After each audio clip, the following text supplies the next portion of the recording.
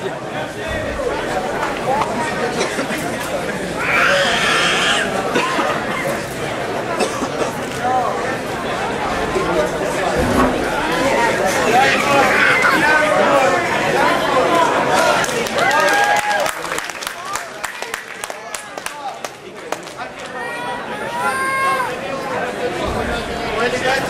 lugar.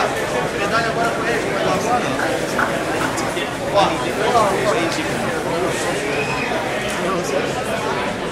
真是。